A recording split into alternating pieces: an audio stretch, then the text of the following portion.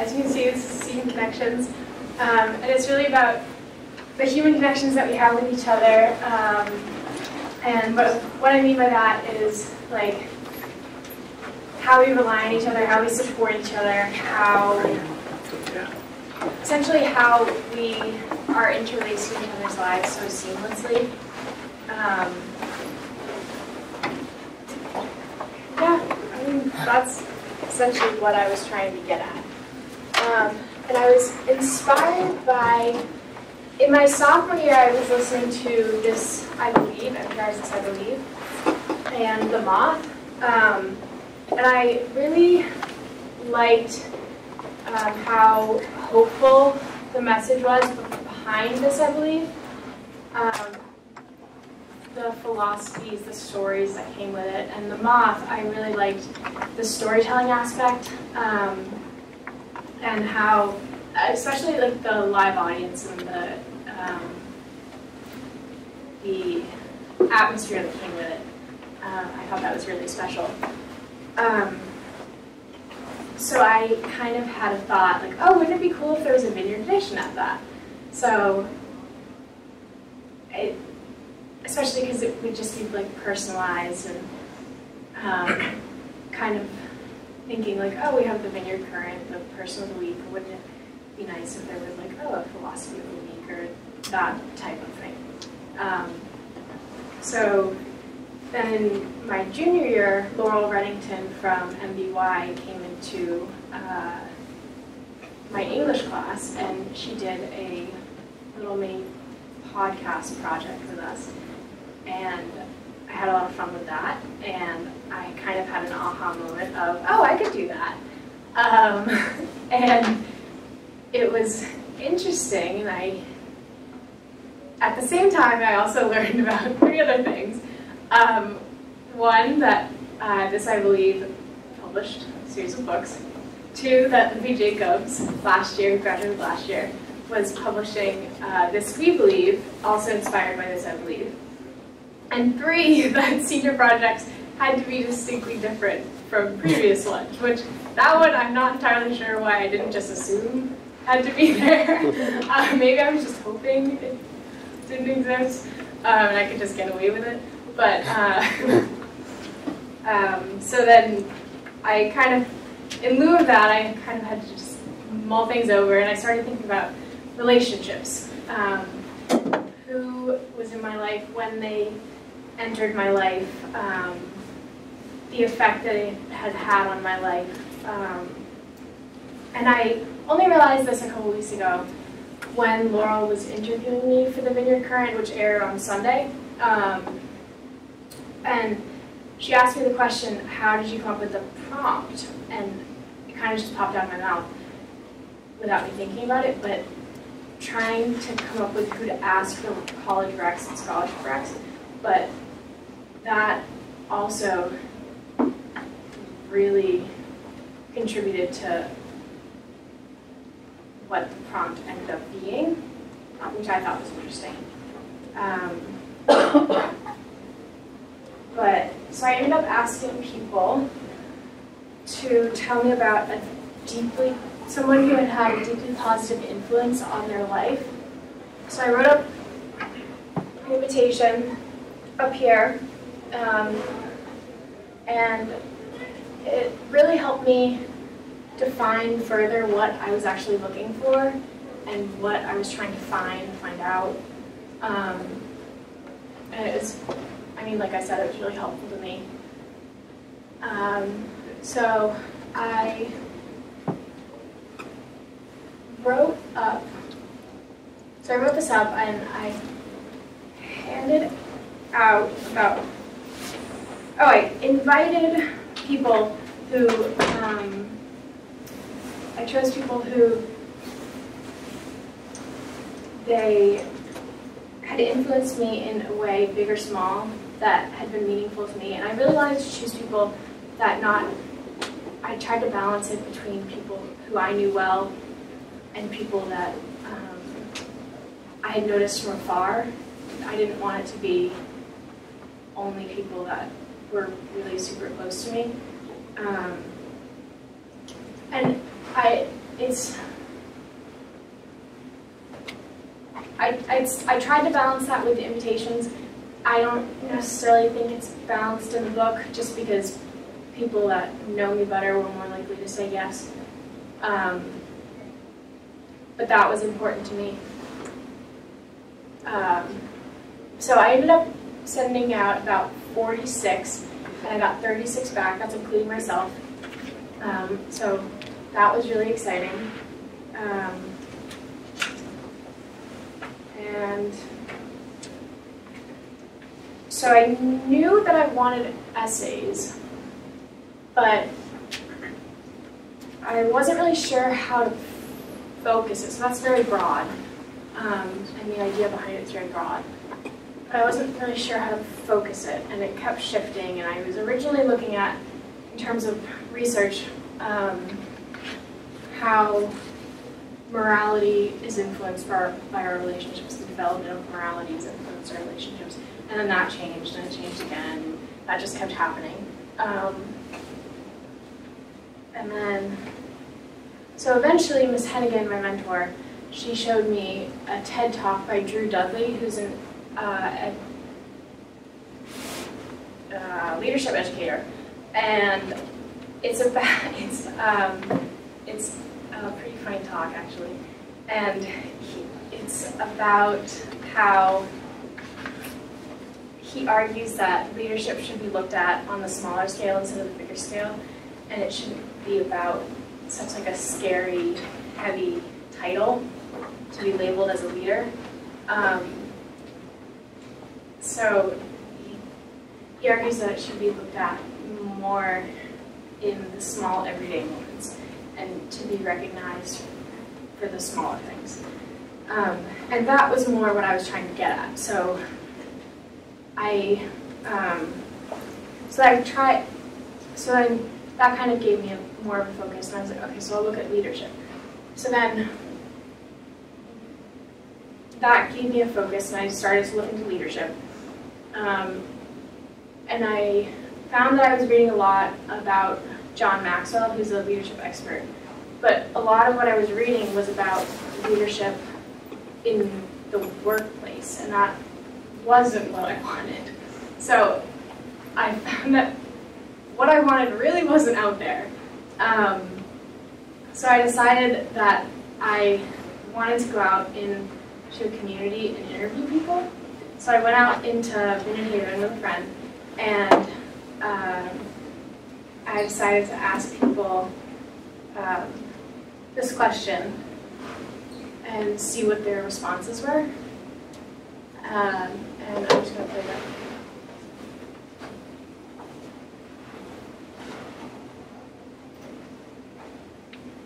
My boyfriend bought me flowers oh, for no reason, oh, and that was really nice. well, this past weekend I was in Denver, and my brother FaceTimed me at like 4 o'clock in the morning, Denver time, where it was 6 o'clock in the morning our time, just to say hi, which was really cute. So that made my day. They did my dinner dishes. my husband. He always does things for me, makes my tea every morning, and just makes sure that my life is good. Day, one of my friends waited for me to get in my car from school with me. Um, yesterday I came home, my boyfriend bought me flowers for no reason, and that was really nice.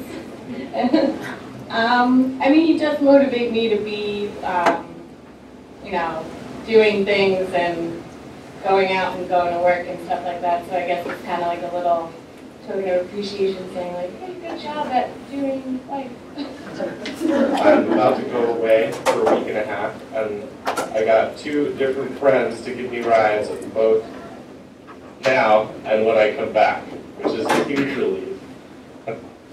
Um, yeah, today my wife, she smiled when she woke up and she was happy. A friend called me, invited me to lunch, and we had a wonderful lunch in Edgartown. Um, yes, my husband fixed me coffee in the morning, and he drove me to work, and he left me with a big smile saying, I'll see you soon. So I was in church yesterday, and in the church that I go to, they call all the children up to the front row to kind of do a little children's lesson. And in the middle of it, my little four-year-old son left the lesson and ran back to where I was sitting and gave me a big kiss and said, I love you, mommy, and then went back up and sat down. Um, so those are some of the responses I got. That's pretty representative of what they all were. Um, one of them, which was really sweet, it was one of the first ones actually. Um, I asked them the question and they said, uh, hearing about the senior project, and that was kind of, I had been nervous to do it, and that was kind of nice, like, boost. Um, so that was nice to hear. Um, so then doing that, and I started to get essays in pretty soon after doing this. And as they started coming in, I was started to keep track of them. And yes, that's a lot of yeses. Um, and I was keeping track, it's just a spreadsheet, and um, it didn't always look so filled. Um, that was a very slow process. Um, but as they came in, it was very exciting and um, as they were coming in, it was very, it was actually very touching for me because it was, I can't, I can't tell you how many brought me to tears just because it meant to me that they thought this had value too. And um, yeah, that, that to me was amazing because I mean, I had been like waiting for this to come to life and it was happening and um, yeah, so that it was that was I don't even know how to put to that, but yeah, I don't know. Um, so the first one came in and I was actually in Rockefeller Center in New York and my mom texted me a picture. Um, and it was actually handwritten. And I remember the person had asked if they could handwrite it because they didn't feel comfortable typing. And I remember being so honored that they would like reveal that vulnerability. Um, just for them to share that um, was special and to be trusted with that. Uh,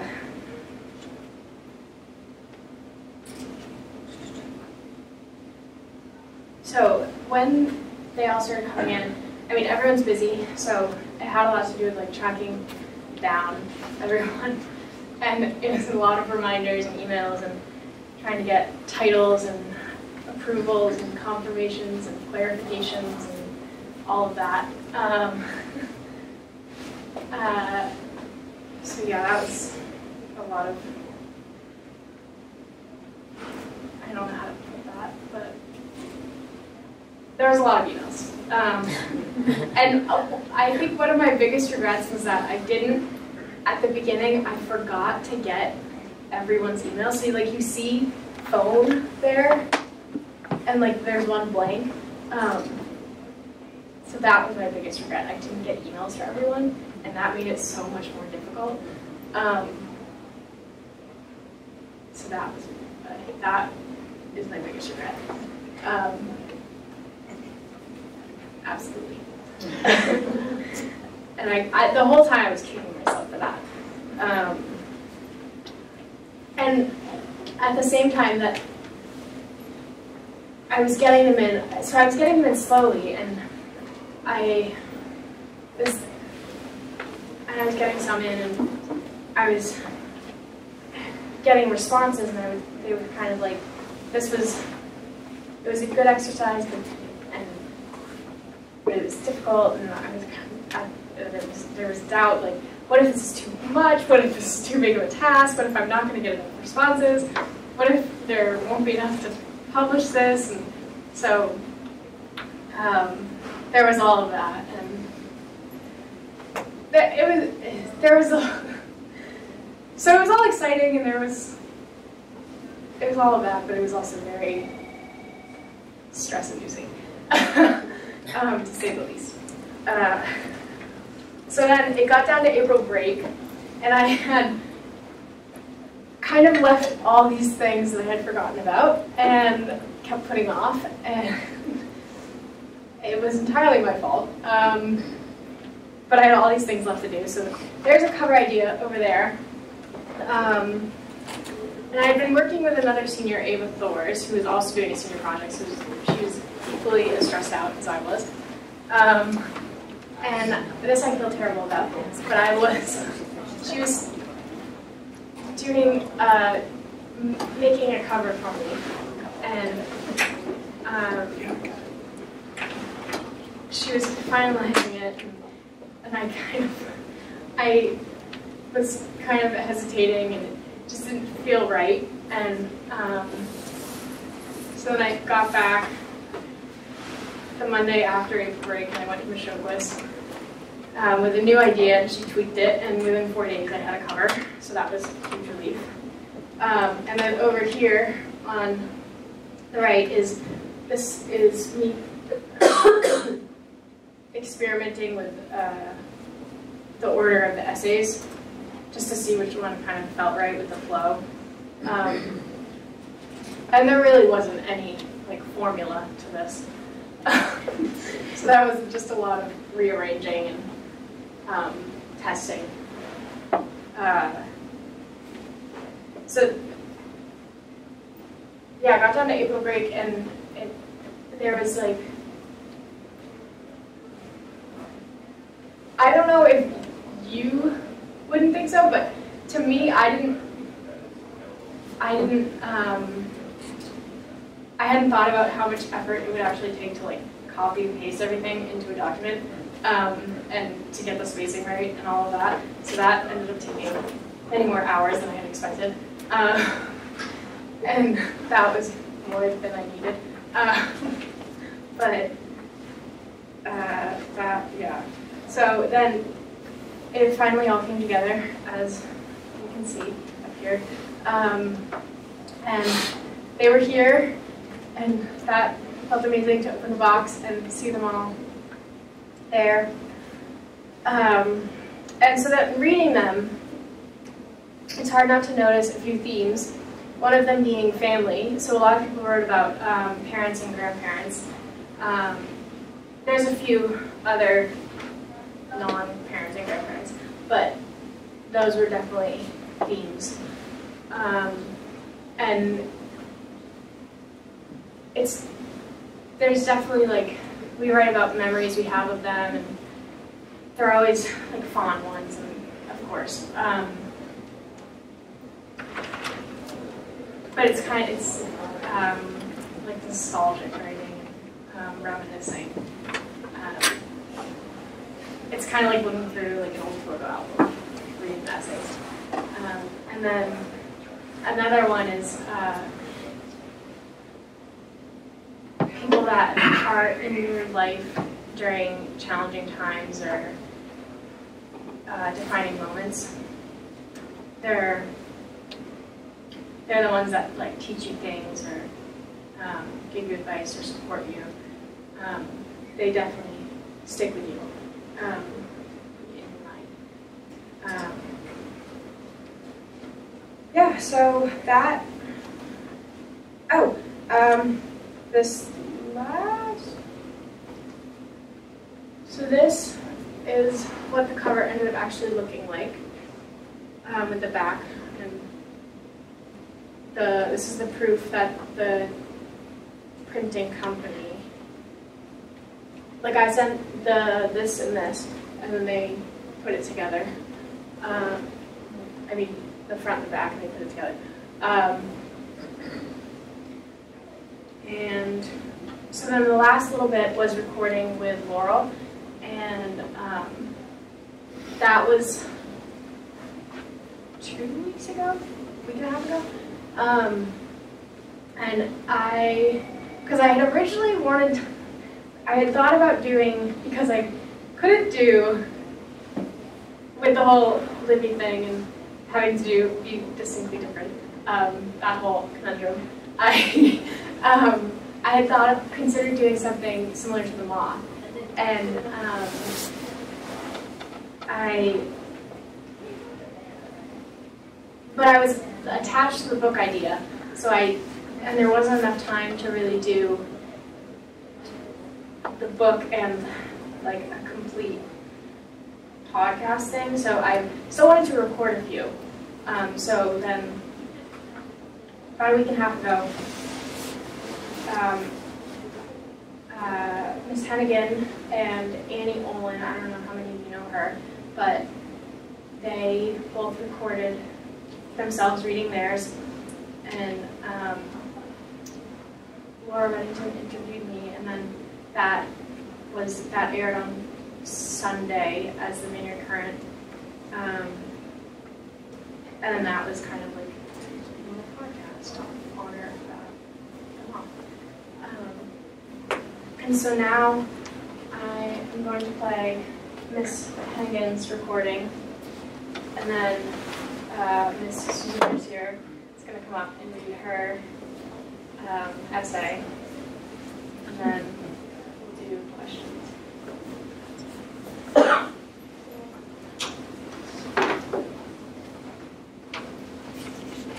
My name is Kate Hennigan, and I am a freshman English teacher at Martha's Vineyard Regional High School.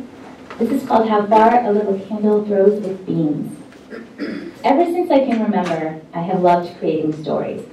From the time I started typing up until about eighth grade, I recall spending much of my free time writing screenplays about poor families who traveled to distant lands like Hawaii. I also remember spending maybe too much time alone in my room creating random character biographies about the generic family photos used as placeholders in store-bought picture frames. And it's not hard to trace my dream of making movies back to my obsession with the family camcorder and directing my younger siblings in movies complete with soundtracks and special effects. It was all so much fun.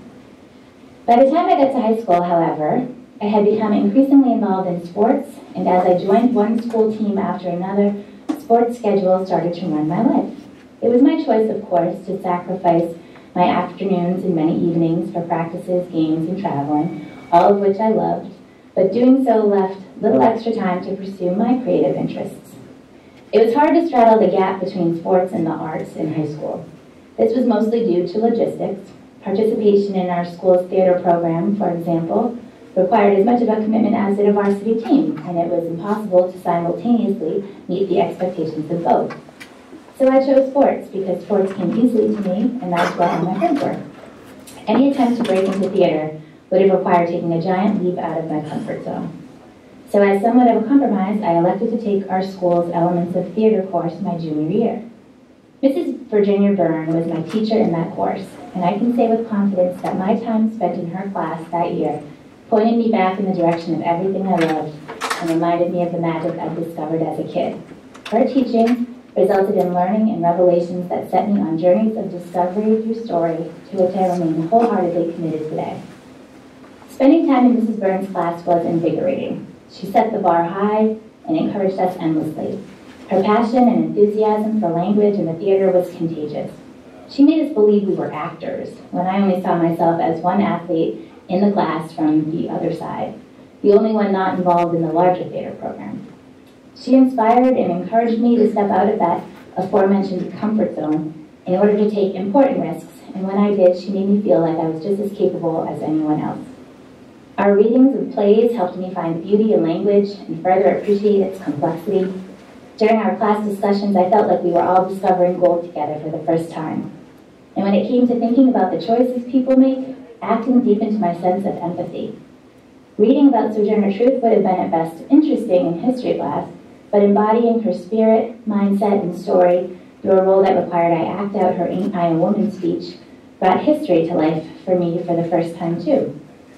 And finally, as a result of my positive experience in that first class, I signed on for Mrs. Byrne's demanding acting Shakespeare course the following year which ended up being the experience through which my initial impression of Shakespeare as an impenetrable, archaic language fell away. Shakespeare's plays became stories to which I could actually relate, full of language that I could actually have fun with. Who knew? I went on to study Shakespeare in college and graduate school, and I jumped on any opportunity to partake in a play production along the way. My time spent with Mrs. Byrne was really only limited to class time. I never visited her room outside of class or in any of the years following my time in school, and she wasn't, for example, among the few teachers I invited to my high school graduation party. But in hindsight, it was her influence, her passion, at a time in my life when I could have made a handful of other decisions that reawakened and fostered in me the deep love of language and story that is the cornerstone of my life as I know it today.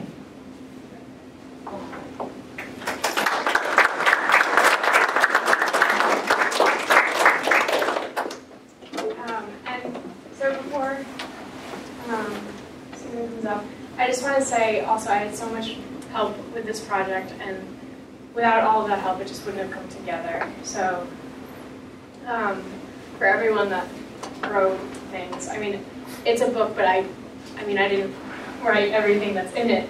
Um, and I just want to thank everybody that helped me to produce this um, because I really couldn't have done it myself. So, um, thank you. And um, Susan.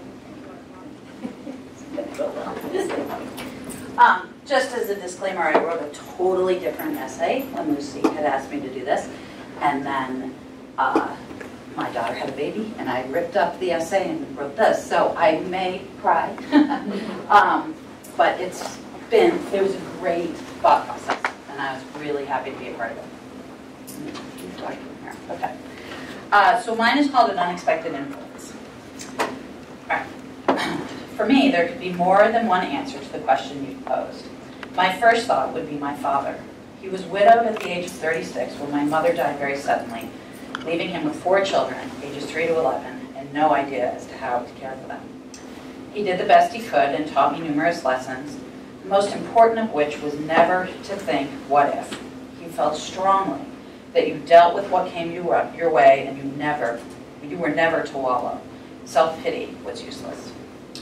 But now in March of 2017, I have a different outlook oh, on who has been the greatest influence. On March 1st, 2017, at 3.05 p.m., our daughter Carol, sorry, welcomed our, her first child, Claire Teresa White. She is the most perfect baby I have ever seen. I asked Lucy to put a picture in the book. I almost slideshow. I, I was serious. I slideshow. She is beautiful and calm and sweet and truly the light of my life. But now, but she is not the answer to this question. Carol is. Carol with her love and tenderness. Carol with her big heart and incredible intuition on how to care for her new daughter. Carol with her kindness towards her family, her need to be inclusive of us all, her crazy grandparents, sisters, uncles, aunts, as we crowd around Claire, jostling each other out of the way to get some time snuggling with her. To watch your daughter become a mother is incredibly powerful. It has been a month of joy and tears as I mourn my mother and watch my daughter transform into a mother right before our eyes. I am in awe of my daughter. She is graceful and appears at ease in her new role, so confident and calm and nothing like me when I brought her home from the hospital. My father's voice is in my head these days. Don't ask what if. What if my own mother were with me along the way? What if my mother, sorry, were here today to hold her beautiful great-granddaughter? I don't ask that question.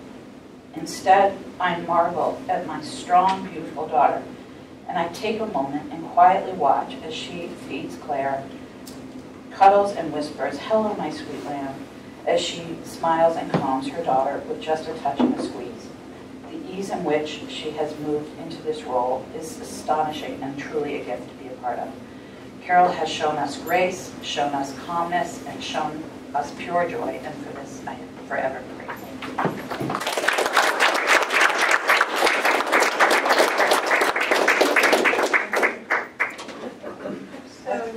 So now, questions about it. How many books did you order? Uh, 200. Nice. Okay, so this is a big one. Um, so in looking at this, you're seeking connections. And I wanted to know, was, was this for you to understand people? Are you seeking connections with, with people? Or are you trying to put out something so that other people can understand the connections within, you know, everybody? So is this for somebody else to read and for them to get the connections of people? Or was this more of a, a study that you were interested in? Because I don't know, are you interested in people? Are you inter interested in interpersonal connections? Um, the, the, everything that you stated before, the values, the moods, the, the, uh, uh, the meaningful moments. What, what was the main idea of this, of this? And I know that you've gone through quite a process, and I think that that's uh, highly um, respected, you know, commands respect. Um, but what, for me, I'm trying to figure out what the, the main idea in seeking connections was. I think it's a little bit of both. Um, I mean, I definitely was interested in it for myself. Um, part of it was definitely, I mean, I wanted to see, I mean, I,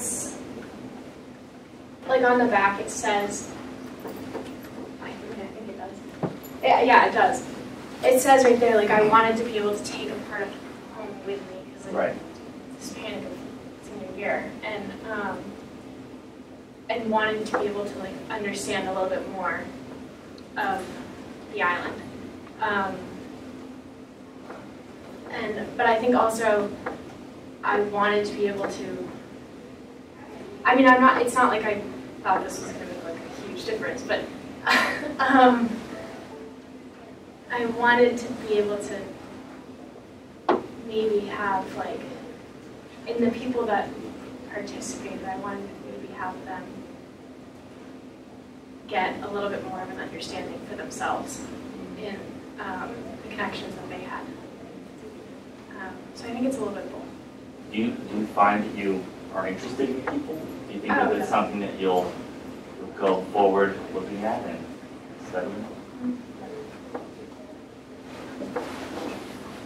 So um, I'm curious about your, um, what you think was really uh, positive and what you didn't like about the process of doing the senior project. Um, Clearly, you had to rely on others, so that, that's different from some of the other projects that, that, um, that I've looked at. And so I'm just curious from your perspective, did you like this process? If so, what did you like and what were some of the hurdles that you faced and didn't like so much? Um, I mean, there are definitely a lot of hurdles just relating to the the book itself and the research. Um, the book, it was primarily time. Um, there just wasn't enough of it, and some of that was my fault. Um, I, um, I think I definitely procrastinated uh, and I could have managed my time better. Um, research, I, I could have used a little bit more help with that, I think, just because I really have never, um, I mean, no one really has ever done like a real res- research paper ever. Um, and like formulating a question, um, that is really very difficult. Um, and I think not, I mean, I'm not going to speak for everyone, but I think that, I know I had a very hard time. Um, If you were, if you were in charge of, you were the faculty person in charge of would you change anything about the process, or would you? Do you think that there was a, there would be a, a better way to do it, or it could be a perfect way to say? um, that I don't know, just because I'm not entirely sure how, like, I'm, I still don't know how, how to do it, so I, I, I wouldn't know how to teach it either, so I don't. Mary? Um, what was your favorite part of like the entire thing? Reading the stories, without a doubt. James? Um, besides not getting the emails for the people you were asking, um, what was like the biggest thing you would have done differently if you could go back? I mean, I think, I don't know if I could do this differently just because of time and length of the book, but I mean, asking the people, I like thinking of the people to ask and asking more people, just because, I mean, there are, I mean, if you were to think about it, who has influenced you in your life, there's so many people, and I mean, wouldn't you think there would be so many people you would want to ask? So that's a very hard list to narrow down. Um, Kate, Uh, did you edit any of the essays that people sent into you, or did you leave them like as they were? um, I edited them, um, but minimally, so grammar, punctuation, and rearranging words a little bit, just to make it more clear, but that was about it. Ryan? Um, I guess as a, I, I don't know, I, I can't speak for the other writers in this book, but I don't think, well, maybe you do, but maybe you don't realize that what you did, you, you were seeing connections with, with others, but what you did with your project is you created a conduit for which the writers could understand themselves better. Because for me personally, to be prompted with such a question made me answer questions I had about myself. So what you did, I think you need to understand, is a lot greater than I think your initial focus. Because you created a collective of writers who now understand themselves better. So that's, I think, the gift you gave us. And you need to understand that, and that we're appreciative, at least I'm appreciative of that. And that's, that's huge. So it's pretty impressive. Lucy.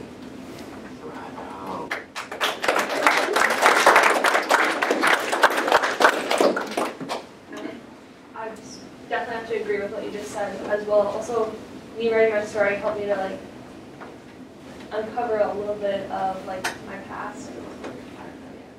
So this uh, helped, it helped me think about different people that have influenced me because I, I did have several different ideas about who I could write about and then I chose someone who was pretty obscure for even for myself, but just looking back at. Thanks. I want to agree with that and, and, and share that the connections continued on because the person I wrote about was a teacher I had in high school and I wanted to get some background information because it's been a really long time since I've been in high school and I forgot a lot of stuff. And I, I found his daughter on the internet and we, I stalked her, okay? And, um, and it was remarkable to talk to her, and she was so moved that her father was being remembered in this way, because he passed on quite a while ago, that I sent her a copy of the essay, and she sent me a note back, with know, email back, and the thing, the memo part said, moved to tears. And as it turns out, she lives in Virginia, but she comes here, of course, everybody comes here. Um, and to pull it even more forward, she's uh, she's the uh, equestrian coach at Washington and. She is going to connect with some of the people here who ride, which is so. So what you put in motion had a ripple effect in my life, and I imagine that everybody who wrote it that there's some piece like Ryan said that you couldn't have imagined when you asked us to do this, and I'm I'm delighted, just delighted in that. So a very aptly named Seeking Connections, Creating Connections could be your part two. Um, yeah, I totally agree with everyone and what they said. I'm really proud of you for doing all this. And like, I know it was so much work seeing you stressed out in the library, but it, it's a really great project, and I'm really proud. So. So um, I'm curious to know um, what you learned about yourself, what, what insights about who you are have you gained since um, clearly you prompted that for other people? What, uh, what kinds of realizations or insights about your own life and your own development did you gain through this process and project? Um,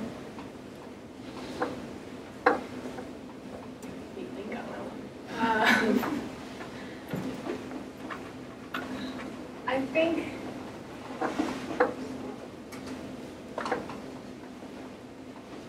it was something that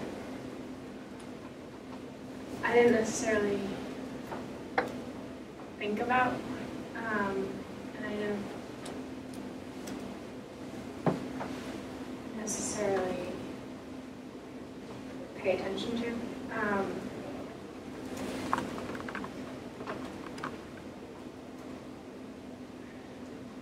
Did you connect with parts of yourself that you might not have had you not done this? Did you-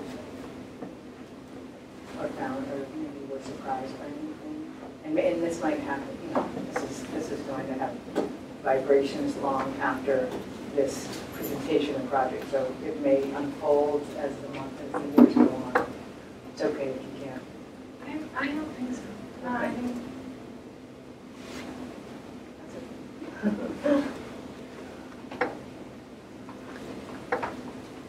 Uh, where can I buy this book? um, I'm selling them tonight at Evening at Arts for ten dollars.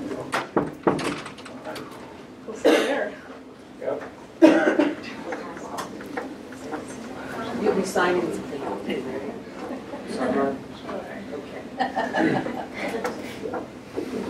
All right, one more question? Any more questions? As you were reading the essays, could you like see parts of yourself in each of the essays? No, I think they were very representative of each of the authors, um, because they were very, they, I think each of the authors really trying to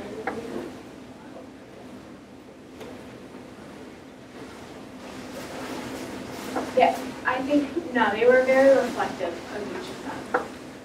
Um, and s- for some of the um, little intros to the people that um, you see in front of their essays, um, some of them I wrote before I got their essays back, and some of them I wrote after. But for the,